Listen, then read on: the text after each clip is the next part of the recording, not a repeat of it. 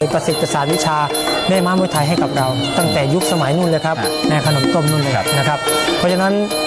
ความสำคัญในการไหว้ครูมวยนี้สำคัญเป็นอย่างยิ่ง นอกจากจะเป็นการระลึกถึงครูบาอาจารย์แล้วครับยังมีการ stretching ก็คือยืดกล้ามเนื้อไปในตัวอ่าด้วยนะครับข้อสำคัญก็เป็นการฝึกสมาธินะครับทำให้จิตใจนี่นิ่งนะครับไม่มีอาการตื่นเต้น อีกอย่างอาจจะเป็นตัดไม้ขุนงามครับคอยดูครับยืนดูมีนารายณ์อ่าแรงสอนมีอ่าอะไรทุกๆอย่างลองดูครับว่า การไหว้ครูนี่มันมีอะไรที่ดีมากๆครับสำหรับคนไทยครับดูสีหน้าแววตาดูกล้ามเนื้อของบัวขาวครับมีความมุ่งมั่นมากกับเด็กคนนี้ จากจังหวัดสุรินทร์นะครับแฟนๆอายุแค่ 29 ปี ชกมวยมาเยอะมากครับ เป็นแชมป์หลาย ๆ รายการครับ แต่ที่เขาชื่นชอบที่สุดก็คือมวยไทยครับครับอาจจะไปแชมป์รายการนู้นรายการนี้คุณสมจิตแต่ว่าสิ่งหนึ่งที่อยู่ในหัวใจของบัวขาวนั่นก็คือศิลปะแม่ไม้มวยไทยอยู่ในสายเลือดกันเลยครับทีเดียวครับ เคยได้มีโอกาสร่วมงานด้วยกันนะครับ กับครับตัวขาวก็ไปเล่นภาพยนตร์ด้วยกันครับก็เขาเป็นเด็กที่อ่ามีความมุ่งมั่นมีครับความพยายามนะครับทำอะไรแล้วแต่ต้องบ้าพลังนิดนึงอ่านะครับ แต่ว่าชกมวยนี่อย่าเลยฮะอย่าทำให้เขาโกรธ เดี๋ยวเขาจะเป็นตัวเขียวครับ พลังเขายิ่งใหญ่มากเขาดูนะฮะตรงนี้ดูกล้ามเนื้อมาแล้วครับ ตัดไม้คมน้ำครับ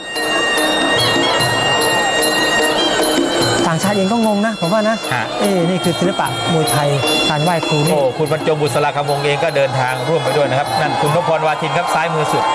มีความสุขเหลือเกินครับสีหน้าแววตาวันนี้ ครับ และดูบัวขาวครับแกไหว้ครูแล้วก็อย่างที่สมจิตเรียนไว้ อาจจะเป็นการตัดไม้ข่มนาม คนที่ไหว้ก่อนเนี่ยยืนช้าๆนี่อาจจะเกรงได้คุณสมจิตนะครับอะนี่เป็นเรื่องของจิตวิทยาอีกครั้งหนึ่งครับแม่ดูคู่ต่อสู้แล้วก็คึกเหมือนกันครับทางด้านของชาเลนครับ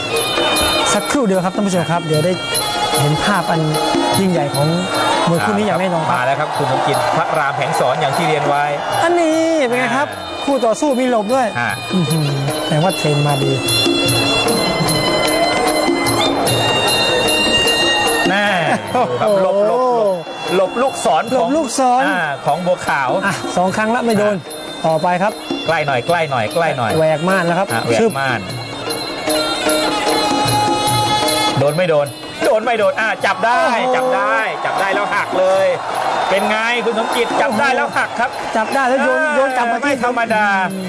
เอาละครับเอาละครับสนุกแน่ครับถืมีอว่าการเชื้อเชิญเย้ยหยันกันนิดหน่อยครับ ถือว่าเขาเรียนรู้ศิลปะมวยไทยได้อย่างดีเยี่ยมนะครับ โอ้โห ชาวฮ่องกงเองก็ชอบใจครับเอาละครับแฟนๆนี่เป็นไฮไลท์คู่เอกนำรายการวันนี้ครับทีมงาน Thai Fight Extreme สปอร์ตอาร์ตคุณนพพรวาทิน แล้วก็สถานีโทรทัศน์ ไทยทีวีสีช่อง 3 ครับ แล้วก็อดีตรองนายกรัฐมนตรีคุณสุวัสดิ์ลิปตะพันลบนะครับ ก็เดินทางไปร่วมปักหลักร่วมลุ้นร่วมเชียร์กันอยู่ที่นั่น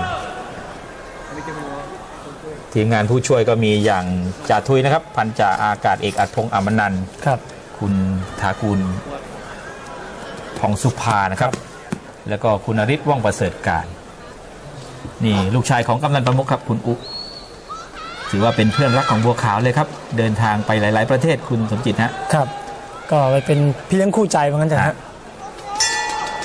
บัวขาวเป็นเด็กสุรินทร์ก็จริงแต่ว่าพูดภาษาปักษ์ใต้นี่สบายเลยครับ เพราะว่าเทรนเนอร์เก่านี่เป็นชาวปักษ์ใต้ครับอะลุ้นกันต่อครับยกแรกครับคุณสมจิตครับมาดูยกที่หนึ่งครับบัวขาวอีกก็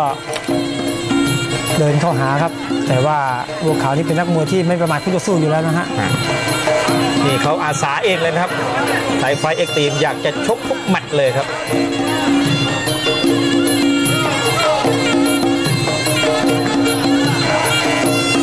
ดูทางด้านของนักชกบราซิลรายนี้ครับ อินมาชาเลน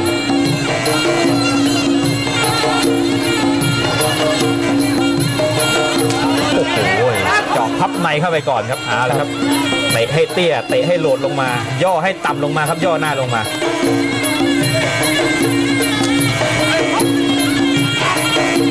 นักชกชาวบราซิลวันนี้ก็รู้สึกว่าดูท่าทางจะหมัดนะครับ ดูเกรงๆหมัดขวาไว้นะครับ ขวานี่ห้ามหล่นเลยนะครับถ้าหล่นแล้วเดี๋ยวโดนซ้ายหน้าของบัวขาวแน่ครับ นี่ครับมาแล้วครับแฟน นักมวยนี่เขาอ่านเกมไปด้วยนะครับใช้สมองครับลงแก้ปัญหาคุณสมจิตครับ ผมเชื่อว่าบัวขาวนี่อ่านเกมที่ว่ามวยของบราซิลจะต่อยหมัดขวาก็เลยใช้เท้าซ้ายเตะอะนี่ฮะเตะที่หมัดหมัดขวาไปเลยฮะมาดูนะครับก็ชิงออกแข้งซ้ายก่อนนะครับแข้งหน้านี่จะถึงก่อนนะครับ ยาวกว่าแข้งหลังเพราะว่าอยู่หน้าดีดขาดีดขาล่างแม่ดูสีหน้าแววตาคู่ต่อสู้นี่ก็ไม่ไม่สนแล้วครับ ว่าจะมีดีกรีอะไรขนาดไหนครับทางด้านของ จิมาชาเล่จากบราซิลนะครับ ไม่สนครับว่าบัวขาวจะเก่งกาจขนาดไหนแฟนแฟนจะชอบอย่างไร ขอสักหมัดเถอะนะจะโดนหรือเปล่าสมจิตไอ้ห้าแข้งที่ผ่านมาเหมือนเตะกับสอบทรายนะครับอะตับตับอื้อหือดูดิครับ ยังเป็นปลายปลายเท้าอยู่นะครับ ซึ่งจุมาซาเลสเองนี่ก็ไม่มีบังเลยนะครับอะก็รับอาวุธอย่างทุกดอกนะครับ แต่ว่าใช้ท่อนแขนรับแม่โดนเยอะๆเข้าไปนี่สะสมความเจ็บปวดนี่ไม่ดีนะครับ ต้องยกบังบ้างนะครับ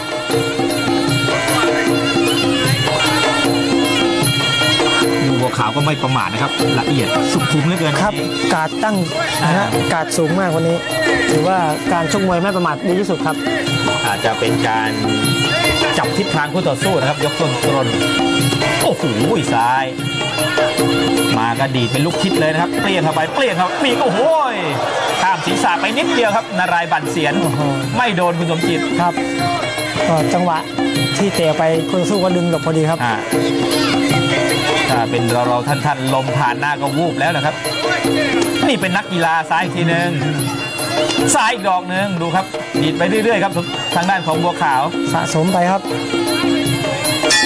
อ่าครับหมดยกแรกครับ สักครู่ที่สังเวียนที่ฮ่องกงนะครับ ก็ให้ชาวต่างชาติได้รับรู้ครับนี่คือความเป็นไทยนะครับมาดูยกที่สองครับโอ้โหนะครับจินมาซาเลสก็สู้ครับด้วยการใช้หมัด ก็ต้องอยู่ให้ใกล้ที่สุดครับอยู่ห่างๆแล้วโดนแข้งซ้าย หน้าก็โอ้โหติดโอ้ยสอกกลับลูกนี้แม่เกือบไปครับแฟนๆโดนไม่เต็มดอกนะครับ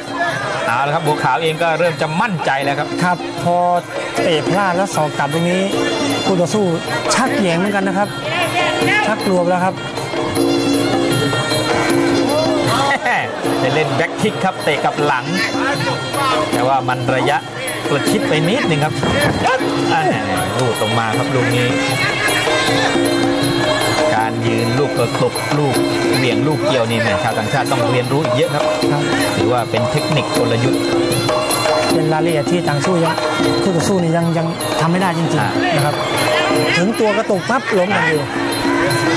ก็ใช้พลังหัวไหล่นะโอ้โหดูทีซ้ายบัวขาวอ่ารู้สึกจะมั่นใจแล้วครับบัวขาว เริ่มจะขย้ำแล้วครับมีเคาะ ลำตัวมีสับศอก เดินนวดแล้วครับคุณสมจิตครับออกอาวุธทุกอย่างครับ มั่นใจครับมั่นใจแล้วครับดูจะจะรีบเผด็จศึกแล้วครับโอ้โหมีศอกสั้นๆ วางซ้ายทิ้งจิ้มลำตัว โดนเป็นชุดแล้วครับหนีออกไม่ออกคุณสมจิตครับบัวขาวก็รู้สึกมั่นใจในพลังหมัด พลังเข่าพลังแข้งออกทุกอย่างครับ ตอนนี้ประเคนเขาใส่จินมาซาเลส อย่างทุกรูปแบบเลยครับตอนนี้ดอกสุดท้ายนี่โดนศอกเข้าไปครับ แล้วแข้งซ้ายทีหนึ่งเอาละต้คอรังบตีกันเชียงหนีก่อนครับ ยืนใกล้ๆนี่ไม่ไหวครับ แล้วเตะแข้งหน้าด้วยครับ ระยะมันถึงก่อนครับ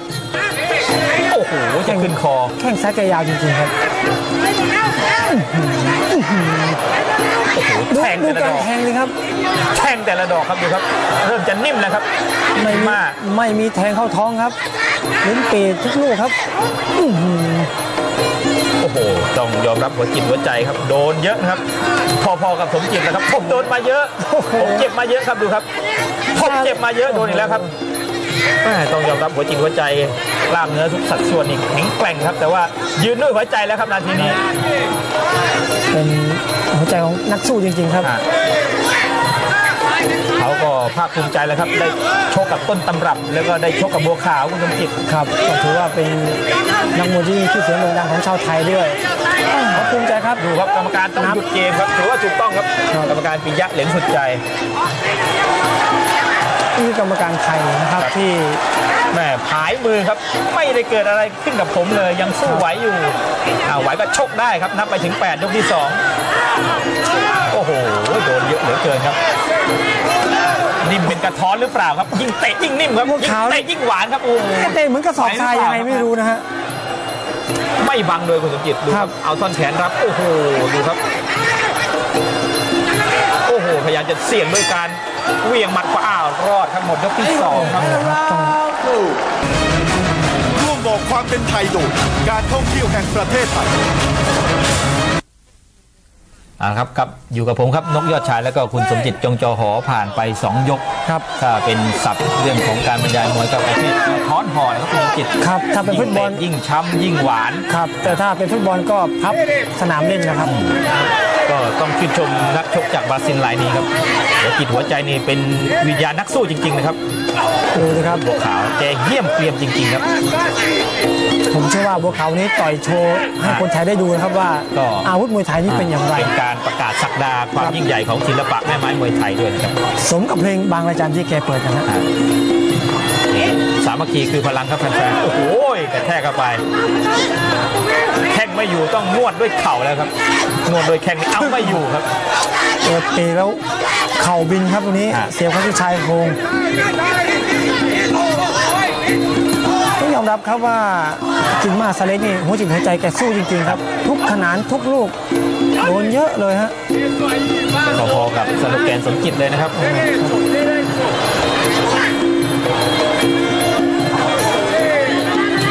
แม่ถ้าประคองเอาตัวรอดได้นี่ถือว่าสุดยอดแล้วครับคุณสมจิตครับครับ เพราะว่าโดนแข้งซ้ายโดนเข่าซ้ายขวาเข้าไปอืมนึกอะไรได้อย่างนั้นครับ นึกแข้งได้แข้งนึกเข่าได้เข่า โอ้โหไม่อยากจะนึกเลยครับอ่า แม่ ก็ต้องบอกต่างชาตินะครับว่าตัวนี้มวยไทยเราโกอินเตอร์แล้ว เพราะฉะนั้นการที่ต่างชาติจะต่อกรองกับอาวุธไทยได้ต้องมีอาวุธที่ป้องกันตัวเองให้ดีกว่านี้นะครับไม่ว่าจะเป็นการบังการหลบหลีกนะครับเนี่ยอย่างเข้าวงในเนี้ยของไทยเราเก่งกว่าแน่นอนครับอย่างเห็นได้ชัดก็ครับต้องใช้เวลาอีกสักนิดนึงครับแฟนๆครับนาทีนี้ก็ไม่ธรรมดาแล้วนะครับ ฝรั่งเศสฮอนแลนด์นี่แข็งแกร่งหมดแล้วนะครับ